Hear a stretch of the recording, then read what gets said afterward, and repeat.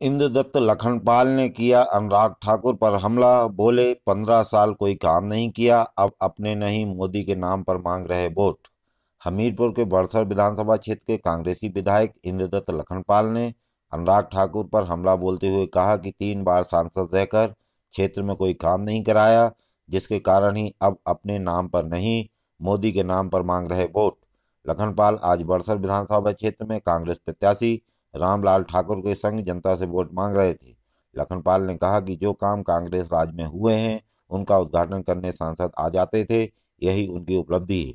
सुनिए क्या बोले लखनपाल। सांसद रहे हैं वर्तमान में अनुराग ठाकुर जी। उनके बारे में आप सभी को मालूम है कि पंद्रह वर्षों में उन्होंने कोई भी बड़ी स्कीम लोकसभा संसदीय क्षेत्र को और बड़सर विधानसभा क्षेत्र को लाने में वो असफल हुए हैं।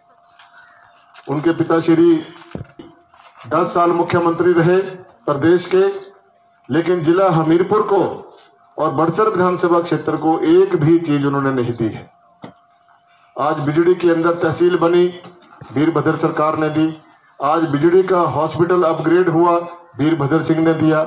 आपके यहाँ पर दमकल विभाग का जो ऑफ़िस खुला, वो वीरभद्र सरकार ने दिया। एक सौ केवी का स्टेशन बनने जा रहा है, वो वीरभद्र सरकार ने दिया। छह करोड़ से उखली से लेके बिजली तक जो सड़क की अपग्रेडेशन हुई है वीरभद्र सरकार ने दी। तो इतने काम आपके धंगोटा में जो सीनियर सेकेंडरी स्कूल है, उसको लैब साइंस लैब जो है, वो वीरभद्र सरकार ने दी।